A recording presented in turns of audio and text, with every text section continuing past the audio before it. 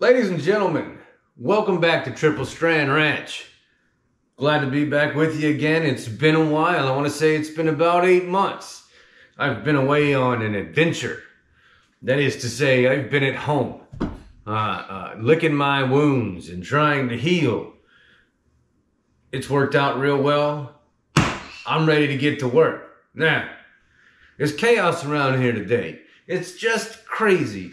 They're mowing the trees out by the road and the dogs are weird. They got cats throwing bowls down the stairs. I'm cooking all kinds of things in here, getting ready to do some jellies and all kinds of stuff. So I am not going to Instagram my kitchen for you today. You're just to have to deal with the madness. And it's to be loud here and there. Bear with me. I'm to make this as pleasant as I possibly can. Now, I'm wearing my sunglasses because I can't find my other glasses, and these are prescription. So, it's weird. I know.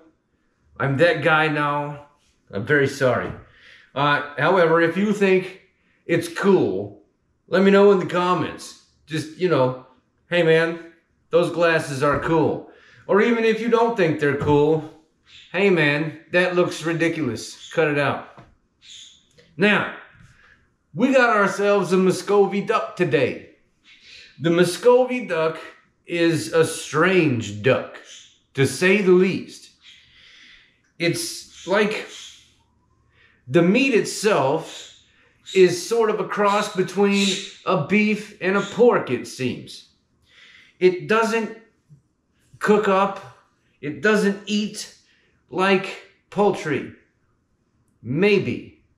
But I tasted it yesterday and for the first time. And let me tell you something. If there was one animal that combined everything on the farm into just one organism, this is it. Because it's so weird. And you'll see what I mean when we're finished here. But I've never put my hands on a Muscovy duck in my kitchen before. So it only makes sense. Let's play with a Muscovy duck.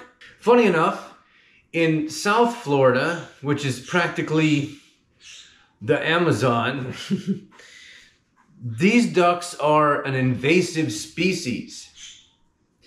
That is to say, it is not their natural range and they are causing a great deal of damage.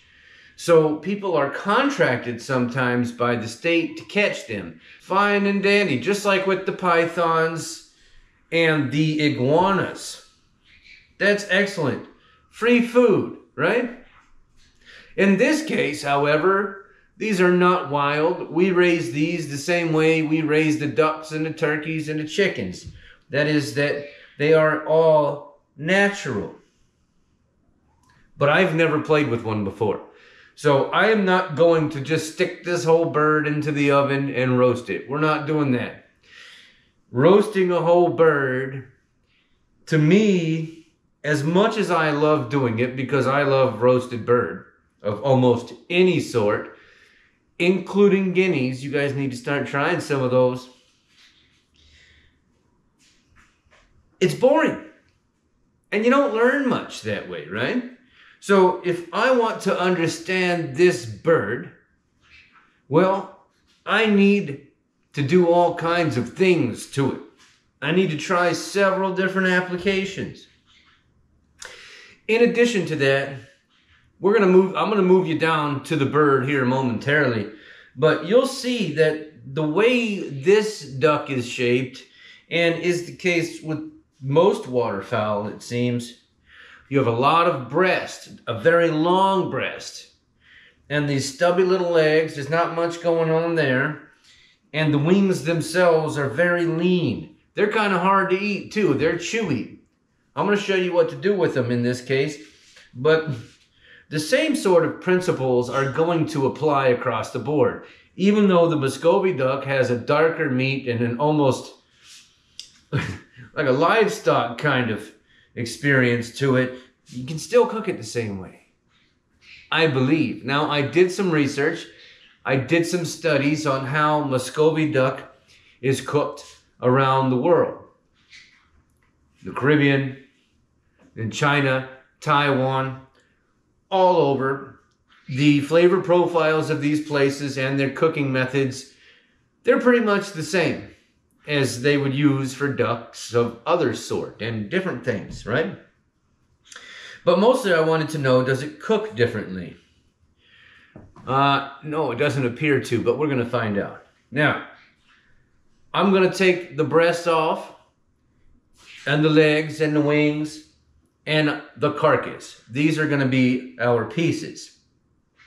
And I'm going to show you how I do it with my very dull Henckels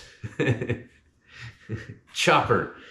Man, I haven't I haven't sharpened my blades in some time. Now, let's get you on in here.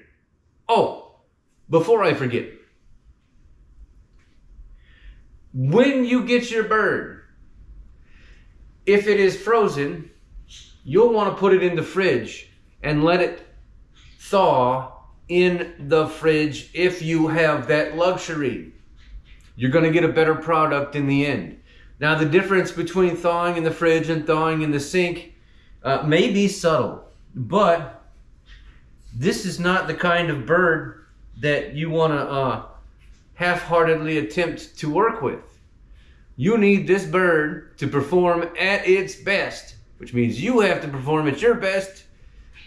Put it in the fridge to thaw if you have the option. If you don't have the option, though, don't worry about it. It'll be fine. Pick it up in the morning on a Saturday, put it in the sink. It'll be thawed by the evening, and then you cook it. Don't worry about it. The differences are subtle. But the safe thing to do, of course, is to thaw it in your fridge. Now, let's get on in here and discuss what we've done. We're almost there. Why? What is my brain doing right now? First things first, you got your bird thawed out. I want you to rinse it off, inside and out. There are gonna be some little pin feathers here, there. They're, they're practically irrelevant. Not pin feathers, but these down feathers. They're, it's just, it would take forever to get every tiny little filament off of these birds, thereby degrading the meat because for each second that you spend processing this bird, it's not on the ice. It's cooling down at room temperature. Hopefully, it's not 150 degrees outside. Although at the ranch, we use the processing station room. Station room, the processing station room. No. so if you get your bird and it has a few little feathers on it, or a few little pin shafts, or whatever, you can just pull those out or ignore them altogether. In some places, they'll finish the bird off by taking a, a torch, a propane torch, and they'll torch all that stuff off of there for you. Or you could do it yourself. For me, if there are any egregious feathers, I'll pull them off. Otherwise, I don't really care about them. They don't do anything. You, don't recognize it, it's fine. Now, so we got out of the package. We've got it thawed. We got it out of the package. We've got it cleaned up. We got the feathers off of it. I want you to rinse your bird inside and out. Make sure there's nothing on the inside. Get out of here. Get out of here. See, here comes a cat. What is a cat doing here? Get out of here. All right, so Make sure you clean up the inside of it. Any kind of things that remain, sometimes up in the front, you'll find a little bit of the esophagus, right? Especially on these ducks because the esophagus makes up two thirds of their body, it seems. So if you find anything like that, not a big deal, just pull them out. The same thing as if you bought a chicken at the store. There's all kinds of mess in those chickens. Now, and then I want you to dry it. Pat it dry with paper towels inside and out as best you can. You want crispy skin on a duck? You better get that skin dry. now, thank you, Richard. That's Richard, my uh, uh, conure. Now, I'm looking at this bird. Now, this bird is young. This particular Muscovy is a young bird. And there are benefits and negatives for both harvesting a bird when they're young and harvesting a bird when they're old. In this case, this is likely to be more tender, but because it's young, the depth of color of the meat is not going to be as stark. Now, we have our cleaver. You could roast this bird whole, but I'm not gonna. We have our cleaver. This cleaver is not sharp at all. It's terrible. So, and that's a common thing in kitchens. In, in home kitchens all over the world, dull knives are common. Now, it appears as though we have a similar situation as most ducks. The body pretty much looks the same, right? Get out of here! I need a squirt gun. I'm gonna squirt that cat. Now, it looks the same pretty much. So you get your bird, you got it all set up, feel on it, touch it, touch it. You gotta learn. This is how you learn how to do these things. Not just how to repeat something, not just how to read something and do it, but this is how you learn these animals intimately. This is how you fully understand what you're doing in the kitchen. So you go from home cook to the next step, whatever that next step may be while you're still cooking in the same home. I don't know why anybody ever says that, but you take the whole leap forward once you understand what you're doing. So I'm feeling on it. I am, thank you, Richard. I am finding that breast. Okay, we've got the the clavicle here, if you will. It's probably not called that, but it might be. The wishbone. That's quite pronounced in this bird. That wishbone seems very thick. And you can pull the skin back and have a look at that. I hope you can see that. You can see the bone. Well, you can't see the bone, of course, but you can see where it lives. Right? Right here. And this piece. This ridge is prominent all the way down. So you don't have to worry about that. Stop it, pigeon. Ugh, it's a zoo in here. Now, I did that pulling some feathers out, I think. That's probably what happened. All right. So what we're going to do is we're going to start cutting just a relatively shallow incision here because I want to look at it. Did we get close enough? And I think so. I think I'm going to go inward. So you see, I've turned my knife inward. Now remember, this is experimental here. So this, this is how I learn where things are. Now, it feels like a lot of times when you have a bird like this with such a broad breast, a lot of it will come apart just with your finger and everything that you can get off. What was that? It's a zoo in here. Everything you can get off with your finger is what you want to do. But now we've reached a point where that's not feasible anymore.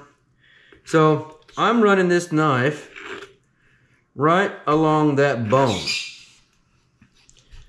and on up to the front. I'm not too worried about wasting any meat because whatever is left on the carcass is going to be used. But I do want a nice breast fillet. I want the whole thing, as much of it off of here as I can get.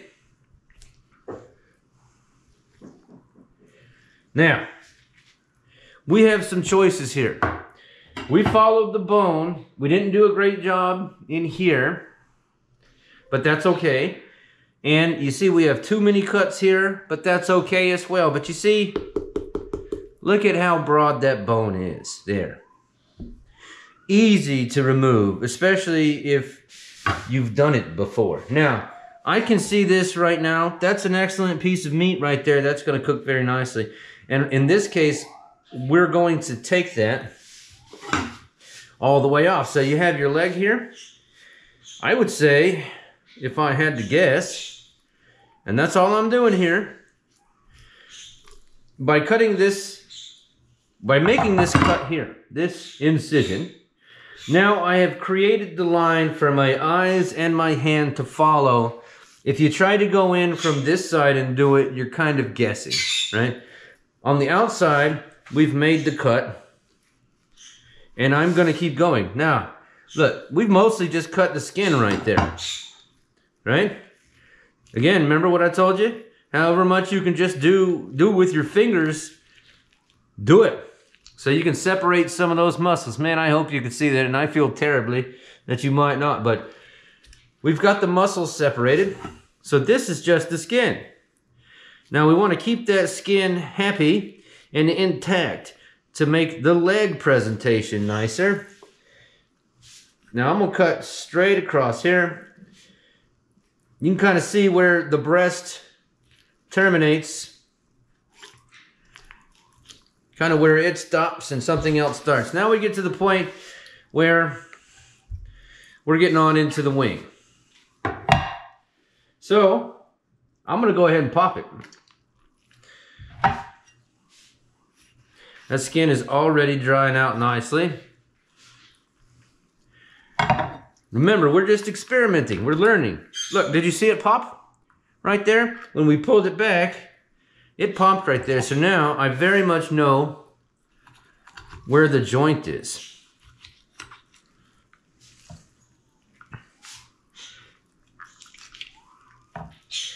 If it's too nerve wracking to think about it as experimenting, think about it as playing. You're playing here and you're learning. There's a little paper towel there. All right, so we've got that wing separated.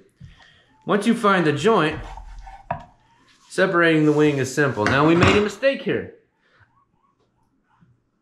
That that sound you're hearing back there, that very strange sound, is yet another cat with some kind of nose tumor. This place is ridiculous. So we did make a little mistake here. Not a big deal. The wing is intact. We're to make soup out of these anyway. So just looking at it, looking at this wing, there's meat on it. There's a fair amount of meat. But we're to make a soup out of it anyway. So I'm to set that. I better get a plate. All right. So we got that wing off. This breast is pretty much off. Look at this. This is just some connective tissues, which I don't want to try to tear that off with my finger because I'm to tear the skin all around it. So we're just to go ahead and finish cutting that off. Now, that,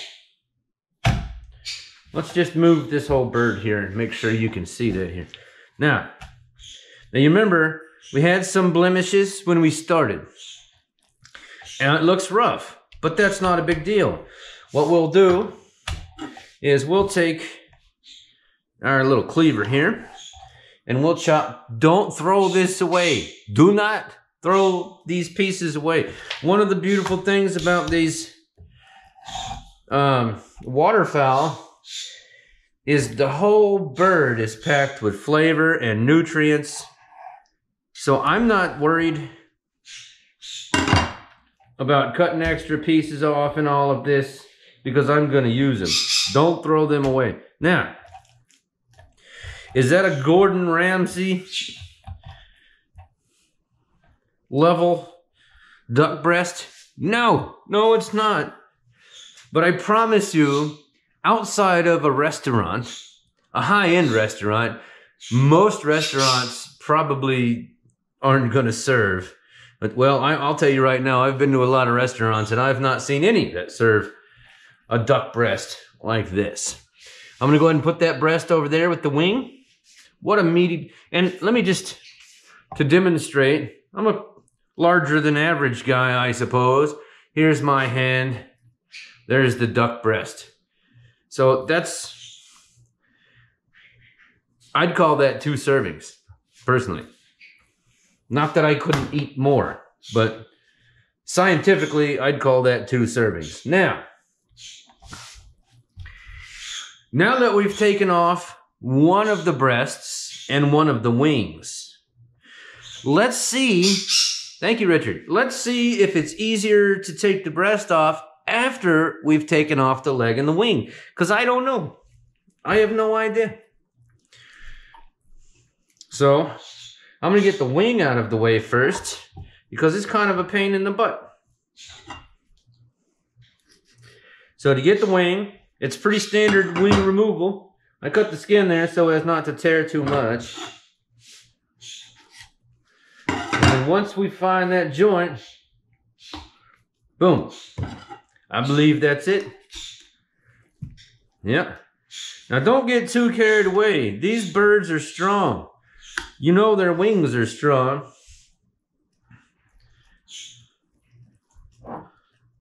What is happening here? See, this is interesting. Okay. All right. I didn't have the joint all the way. So we're going to go back in there now. We found the joint. And if you have a sharp knife, again, this is going to be easier for you. Where is that sucker? There it is. Boom.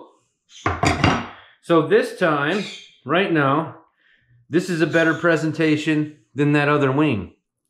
So perhaps the answer thus far, the answer appears to be what are you doing? What, what, what is the star of your meal? If it's the duck breast, we may require other options. Maybe the duck breast has more options. The wings, however, you want to take those off first. Now, look at the legs. Now, you know, waterfowl have funky legs, right? See, there's another one of those pin feathers. We're just going to pull it out. Pull out the pin feathers. Not a big deal. Richard. I'm going to put you outside. Okay? So, this weird little leg, it's like it's buried in the skin, isn't it? You know, there's a chicken and a turkey. All of this skin is free and the legs can move freely. This leg is almost, it's almost like it's just tucked up in there. Right? So you see how it kind of moves under the skin and all the skin is connected? So we want to very clearly find that line, right? And a lot of times if you follow this, you, you see this separation between the feathery, chunky skin and this smooth stuff. And you can follow that.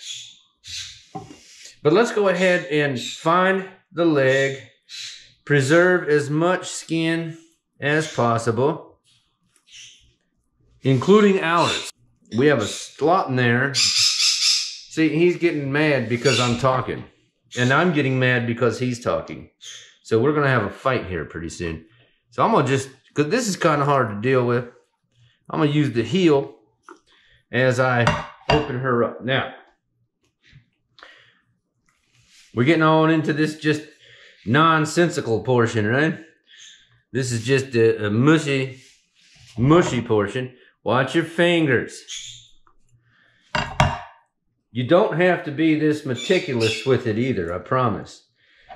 Just get it off of there.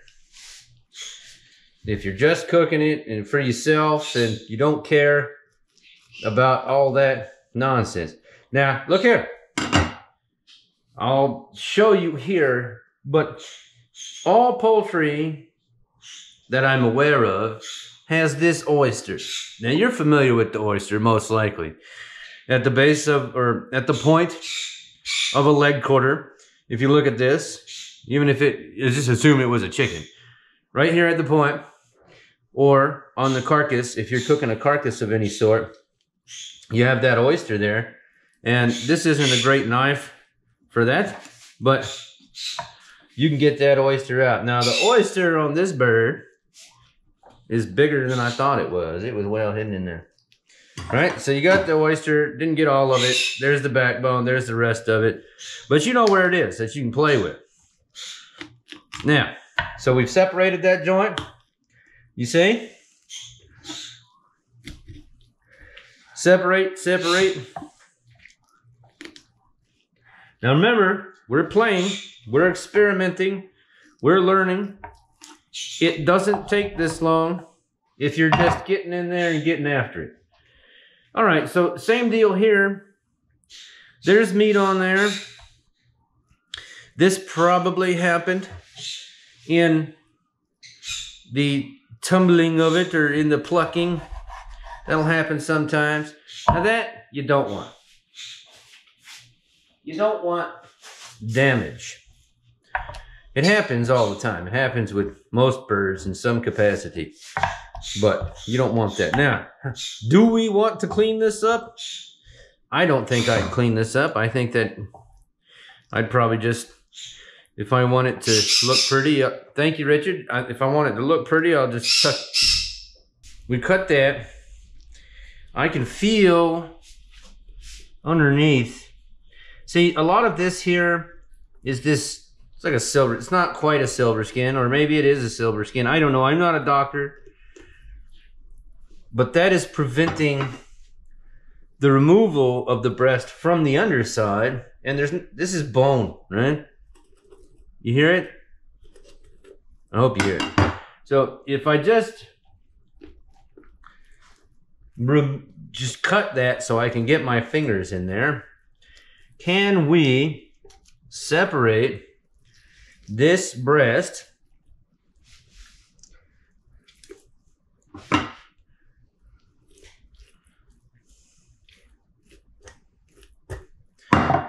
mostly with our fingers. I'm just curious. I want to know. Get curious with your food. Careful with those fingers when you're cutting so silly like this. Now, see, that's those connective tissues which are strong in these birds. All right. All right, so what I don't want to do is just tear this off, and that looks like that's what's happening. So, coming up from underneath without a knife, can you do it? Probably. Should you do it? Probably not. Now, there's like a hip right there. All right. Let's just keep going. Let's see what happens. Yeah. Okay. So, mostly with my fingers so far, I'm just cutting nuisances out of the way. Like right here, there's a little bit more of that connective tissue. And I'm just running my thumb along that bone. Look at that. Amazing. Now, up here in the corner, you see these ligaments and stuff? You probably don't want to mess around too much with trying to pull those off with your finger. But if we get those out of the way, look at that. It's working. To what end? We don't know yet. We're going to find out. It's still working though. And I'm taking my time. All right, so we've got ourselves to the backbone. All the way, well, not the backbone, the, uh, uh what you call that thing? Yeah, that is the backbone. No, it isn't. That's the breastbone. I think Richard got me so flustered. All right, so this is all the way up to the crest on that breast bone ridge plate thing. I don't know. I'm going to look that up though because now I feel silly. So we're going to just, all we're doing now, you see, it's just on there just barely, right? Long cuts. I never remember the long cuts, and I wasn't paying attention. So I lost a little bit, but that was almost perfect. All right, so, wow, look at that. So removing the wing and the leg, we've got more skin to work with, which is kind of neat. That we can probably tuck it in or something. This was all with the finger. Now what I'll probably do here, is that the tenderloin? That might be the tenderloin. I'm gonna pull that off. That's got to be the tenderloin with one big ligament. Well, I'll tell you what, folks. Go. Thank you, Richard. Yes, laugh. Laugh it up, pal. This GoPro 11 is great in a lot of ways, but after about, what is that? What I guess it was only about 20 minutes or so, it overheats and it shuts itself off. So I'm saying this is what I believe to be the tenderloin, and we'll set that over there as well. Now, I am not going to prepare this plate of cuts and make it all pretty like that because I don't have time. I ain't doing it. So we are going to prepare this one a little bit though. And again, none of this is going to waste. We want the skin, but we don't want it flopping all over the place, do we? No. And remember, this skin is going to shrink very quickly. And see, I'm to take this right here. Not necessary, but I'm just to take that chunk off and put it over there. Look how red it is. You see that? I- am showing you over here, like, what a dingling. Look how red it is. We got some of that silver skin. It might not matter. We're to find out. So we have a more square piece that you can continue to make neat. Now, I will say that that method there is a little bit more time consuming right now as I'm trying to demonstrate it. But if you just get in there and get after it, it probably won't be. But look at that. That's a better looking breast than the other one. That's a much better looking breast than the other one. There's your answer based on our current experiments. Take off the leg and the wing and then take the breast off. All right, now we're going to go ahead and take this leg off and we're going to talk about what's left on here. Remember, pop it. I don't need to take the oyster off here because I'm using it. I'm using the carcass. You can take the oyster if you want to. I'm not going to do it. I'm not even entirely worried about what's left on this leg. Because we're going to make soup. All right, a few pin feathers, just take them off as you go. But that's a good looking piece. And we removed that one much more quickly than the other one. So taking off the breast makes that process easier and vice versa. So maybe it's just a matter of which you prefer. Now, thank you, Richard.